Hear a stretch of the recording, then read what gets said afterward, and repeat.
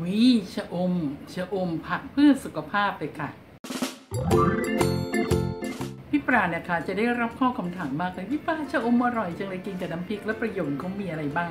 วันนี้นะคะ พี่ปราได้รวบรวมประโยชน์ของชะอมมา ให้ชัดเจนอยู่ในคลิปนี้แล้วค่ะ ตามพี่ปรามาเลยนะคะ ประโยชน์ของชะอม ไอเดียการกินการใช้เพื่อสุขภาพ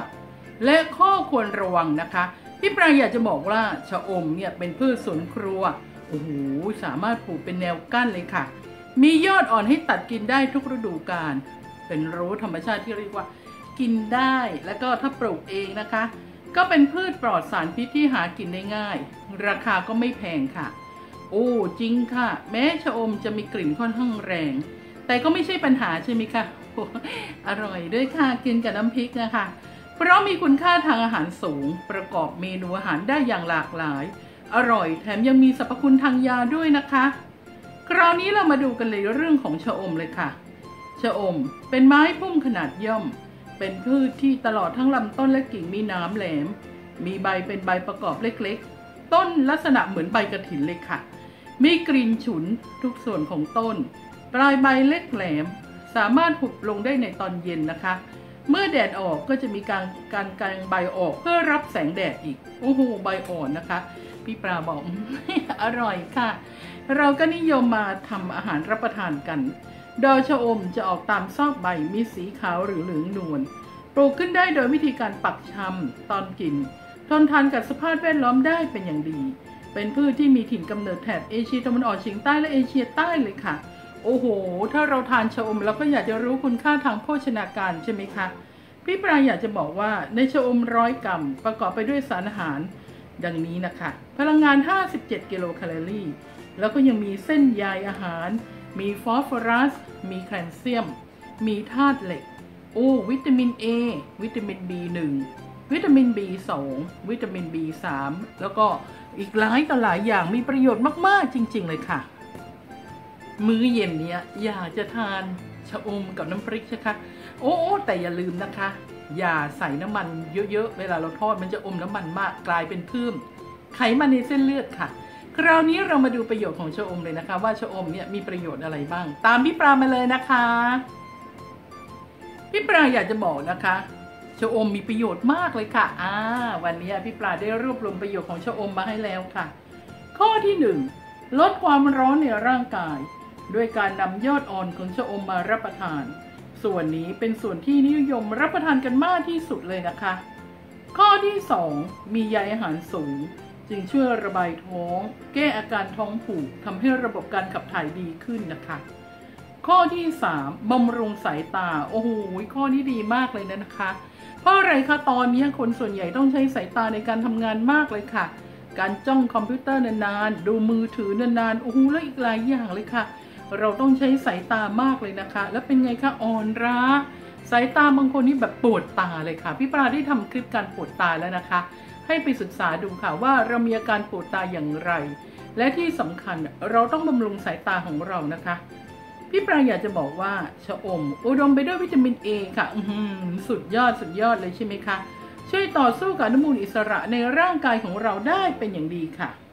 ข้อที่ 4 บำรุงเส้นเอ็น ป้องกันไม่ให้เส้นเอ็นเสื่อมได้ง่าย ๆ และยังช่วยให้เส้นเอ็นของเราแข็งแรงอีกด้วยนะคะ โอ้โหชะอมนี่สุดยอดจริง ๆ เลยค่ะ ข้อที่ 5 ช่วยขับลมในกระเพาะอาหาร บอกได้เลยนะคะว่าชะอมช่วยขับลมในกระเพาะอาหารทำให้ใครจะอาการท้องเฟ้อได้เป็นอย่างดีเลยค่ะ โอ้ชะอมนี่สุดยอดมากๆเลยค่ะ อร่อยด้วยนะคะอ่าเมนูเย็นนี้น้ำพริกชะอมแน่นอนเลยค่ะ ข้อที่ 6 มีฟอสฟอรัสสูง ฟอสฟอรัสจะช่วยให้วิตามินต่างๆที่ทำหน้าที่ได้เป็นอย่างดีเลยนะคะ แล้วก็ทำให้เกิดมีประสิทธิภาพที่เต็มที่ด้วยค่ะ พี่ปรางอยากจะบอกเลยนะคะ ฟอสฟอรัสเป็นวิตามินที่มีประโยชน์ต่อร่างกายมากๆเลยค่ะ ข้อที่ 7 รักษาอาการอักเสบ เช่น อาการอักเสบที่ลิ้นและลดอาการผื่นแดง ข้อที่ 8 แคลเซียมสูง โอ้โหชะอมค่ะ มีหลายคนนะคะ เขียนข้อคำถามถามมาพี่ปราบอกว่าพี่ปราหนูไม่ค่อยทานนมอะค่ะ หนูจะทานอะไรดีที่จะเพิ่มแคลเซียมให้กับร่างกาย แล้วมีผลดีต่อกระดูกอ่าได้คำตอบเลยใช่ไหมคะชะอมค่ะ เป็นผลดีกับผู้หญิงวัยทอง ที่กำลังจะเข้าสู่ภาวะกระดูกหุ่นชะอม สามารถช่วยได้ เพราะอุดมไปด้วยแคลเซียมที่เป็นผลดีกับกระดูกและฟันของเราเลยค่ะ ยอดเยี่ยมจริง ๆ เลยค่ะ ข้อที่ 9 อุดมด้วยธาตุเหล็ก ได้จะช่วยในการบำรุงเลือด ช่วยให้ระบบการหมุนเวียนไปหล่อเลี้ยงร่างกายได้ดีขึ้น อื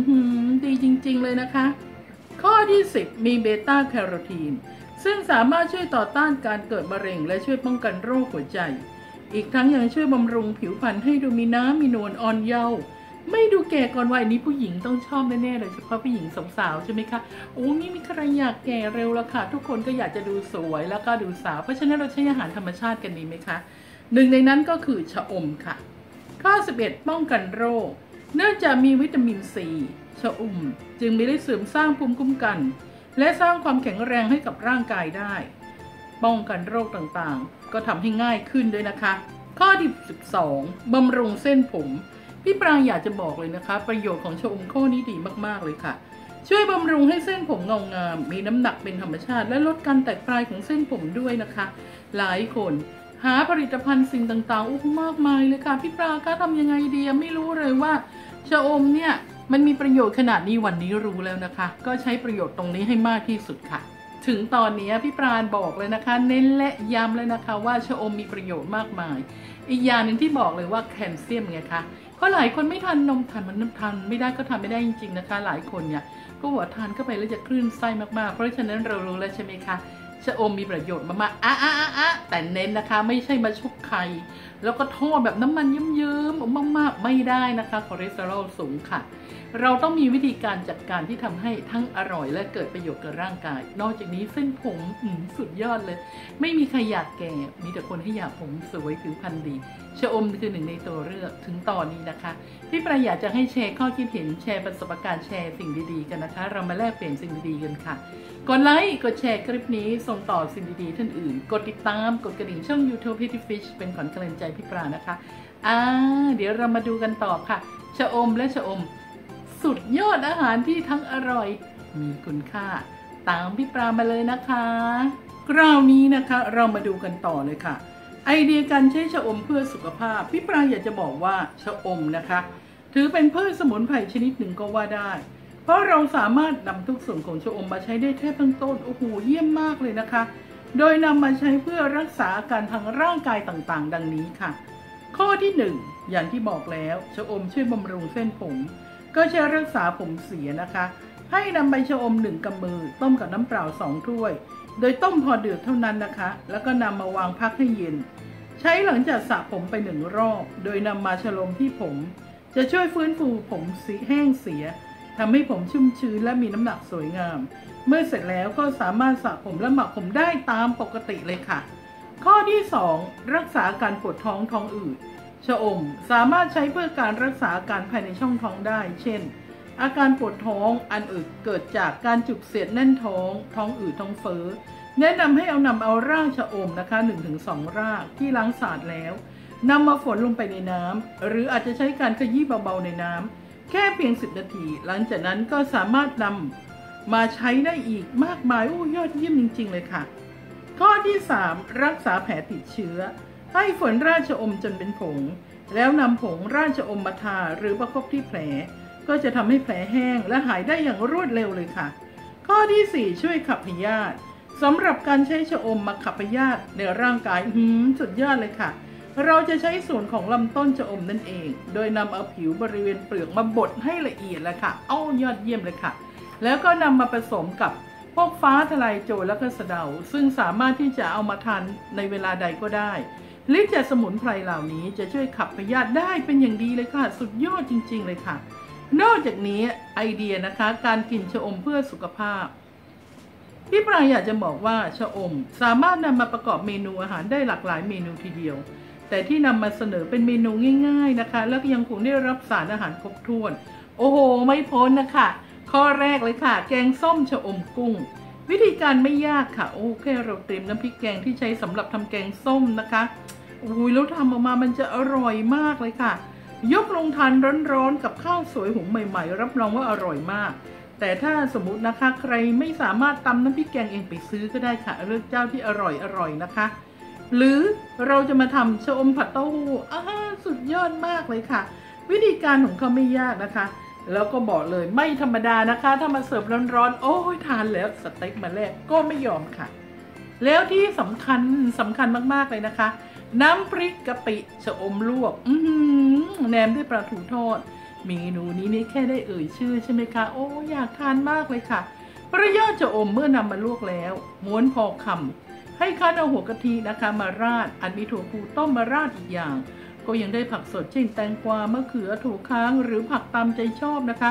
เมนูนี้ทั้งสุขภาพทั้งอร่อยมากมายเลยค่ะ คราวนี้นะคะเรามาดูเลยค่ะ ข้อควรระวังกันพี่ปราบอกเลยนะคะเหรียญทุกอย่างมีสองด้าน เพราะฉะนั้นเราต้องระมัดระวังกันค่ะ พี่ปราขอเน้นและย้ำนะคะเหรียญทุกอย่างมีสองด้านนะคะ อย่าลืมนะคะ เหรียญที่มีสองด้านนี้บอกได้เลยว่าประโยชน์มีมาก แต่ถ้าเราทานมากเกินไปก็จะสะสมในร่างกายของคนเรานะคะ การที่สะสมในร่างกายของเรามากๆอาจจะทำให้เกิดโทษได้ เพราะฉะนั้นเรามาฟังกันเลยค่ะว่า เอ้าชะอมมีข้อควรระวังอย่างไรบ้างตามพี่ปรามาเลยนะคะ ข้อที่หนึ่งก่อนนำชะอมมารับประทาน ควรล้างทำความสะอาดให้ดี และควรปรุงให้สุกก่อนที่จะรับประทาน จะได้มีเสี่ยงที่จะได้รับเชื้อซัมโมเนรานะคะ ซึ่งก็บอกเลยว่าเป็นเชื้อที่พบมากในดิน อากาศหรือน้ำซึ่งอาจติดมาได้กับชะอมค่ะ แล้วก็ถ้าเรารับประทานเชื้อนี้เข้าไปนะคะ โอ้โห ไม่อยากบอกเลยค่ะ ก็จะทำให้ท้องเสียปวดท้องถ่ายเหลวหรือถ่ายเป็นมุกได้ เพราะฉะนั้นระวังระวังความสะอาดที่มาอันดับหนึ่งเลยนะคะ ข้อที่ 2 ควรรับประทานชะอมในหน้าร้อน เพราะชะอมจะมีรสชาติดีกว่า ในหน้าฝนที่มีรสเปรี้ยวแล้วบางทีกลิ่นมันแรงค่ะกลิ่นชะอมนี่ฉุนนะคะ หลายคนไม่ทานเพราะบอชะอมนี่กลิ่นฉุนมากๆเลยค่ะ ข้อที่ 3 สตรีที่กำลังให้นมบุตร ไม่ควรรับประทานพระชะอมมีฤทธิ์ที่ทำให้น้ำนมน้อยลงไปได้จนถึงแห้งเลยนะคะ ข้อที่ 4 คนที่เป็นโรคเกาต์ไม่ควรรับประทานชะอมในปริมาณที่มากหรือไม่ควรทานเลย เพราะในชะอมมีพิวรีนสูง ซึ่งพิวรีนจะเปลี่ยนเป็นกรดยูริก อันเป็นสาเหตุที่ทำให้ข้ออักเสบส่งผลให้ผู้ป่วยโรคเกาต์ยิ่งปวดกระดูกมากขึ้นไปอีกนะคะ เพราะฉะนั้นโรคเกาต์นะคะ การทานชะอมนี้ต้องระวังมากๆเลยค่ะ อย่างที่พี่ปราบอกเลยนะคะ ว่าอาหารหลาย ๆ อย่างเนี่ยไม่ใช่ว่าเราจะทานเท่าไหร่เท่าไหร่ก็ได้นะคะตอนนี้เราทราบแล้วใช่ไหมคะว่าโอ้โหชะอมมีประโยชน์มากเลย เพราะฉะนั้นคนที่ไม่นิยมรับประทานชะอมมันกลิ่นแรงอะพี่ปลาลองเปลี่ยนใจนะคะลองมาทานดูเพราะบอกได้เลยว่า ชะอมมีคุณค่าและคุณประโยชน์ไม่น้อยกว่าพืชผักสวนครัวชนิดอื่น ๆ เลยนะคะ ยอดเยี่ยมไหมล่ะคะถึงตอนนี้นะเรารู้ประโยชน์ของชะอมแล้วใช่ไหมคะพี่ปลาก็อยากจะให้ทุกคนเนี่ยแชร์ข้อคิดเห็นแชร์สิ่งดีๆกันนะคะ เรามาแลกเปลี่ยนสิ่งดีกันค่ะ กดไลค์กดแชร์คลิปนี้ส่งต่อสิ่งดีๆ ท่านอื่น กดติดตามกดกระดิ่งช่อง YouTube p t Fish เป็นก่อนกำลังใจพี่ปลานะคะ แล้วเรามาดูกันเลยค่ะว่าชะอมสุดยอดสุดยอดสุดยอดพี่จะเตรียมตัวเข้าสู่ ผู้สูงยุคคุณภาพผู้สูงวัยคุณภาพกันนะคะ เรามาเป็นครอบครัวสุขภาพเดียวกันค่ะ เชื่อพี่ปลานะคะ กดไลค์กดแชร์ กดติดตาม กดกระดิ่ง ช่องเฮลตี้ฟิตเชื่อพี่ปานะคะ